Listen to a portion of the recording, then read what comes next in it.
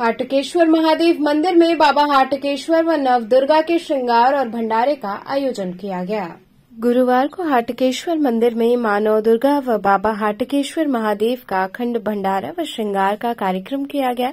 दोपहर दो बजे से भंडारा शुरू हुआ, जिसमें क्षेत्र के सुख समृद्धि के लिए नौ कन्याओं व महात्माओं द्वारा आशीर्वाद लिया गया और बाबा हाटकेश्वर व माँ दुर्गा का विधिवत पूजन किया गया। इस दौरान काफ़ी संख्या में संत महात्माओं और क्षेत्रीय लोगों ने पहुंचकर भंडारे का प्रसाद ग्रहण किया। भंडारा अनवरत भक्तों के आने तक जारी रहा। इस कार्यक्रम में मुख्य रूप से किरण यादव पूर्व पार्षद मनोज यादव रजनीकांत मिश्रा श्यामजी यादव पप्पू गुप्ता सत्यम गुप्ता आदि लोग उपस्थित रहे।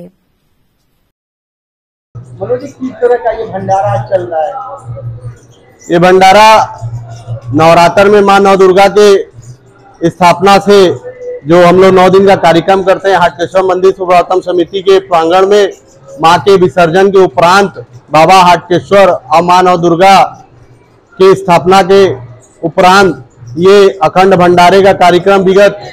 पचासों वर्षों से हाटकेश्वर मंदिर प्रांगण में क्षेत्र के समस्त व्यापारियों, नागरिकों एवं सम्मानित जनी के सहयोग से यह कार्यक्रम निरंतर पचासों वर्षों से हाटकेश्वर मंदिर प्रांगण में सुचारू रूप से संचालित हो रहा है और इस अगर, अखंड भंडारे को हाटकेश्वर मंदिर सुपुरातन समिति संचालित करती है। इस हाटकेश्वर मंदिर में ये भंडारा लगातार दोपहर दो बजे से शुरू होकर रात्रि मध्य रात्रि तक चलता रहता है जिसमें हज़ारों की संख्या में श्रद्धालु और क्षेत्रीय नागरिक और सम्मानित जन वरिष्ठ जन आकर माँ का प्रसाद ग्रहण करने का काम करते हैं। आज इस मंदिर परिसर में हम लोग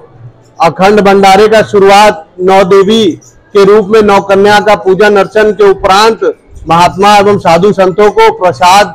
खिलाकर इस भंडारे का कार्यक्रम शुरू करते हैं और उनसे आशीर्वाद स्वरूप क्षेत्र के सभी जन के लिए आशीर्वाद और मंदिर परिषद के लिए आशीर्वाद मांगते हैं और सभी के स्वस्थ आयु के लिए हम लोग आशीर्वाद उनके द्वारा मांगा जाता है और इस मंदिर में हम लोग का एक कार्यक्रम निरंतर अब ये चलता रहेगा और हम लोग ये कार्यक्रम को निर्धारित रूप से अपने समय के हिसाब से चलाकर और मंदिर परिषद में इसको संचालित कर रहे हैं।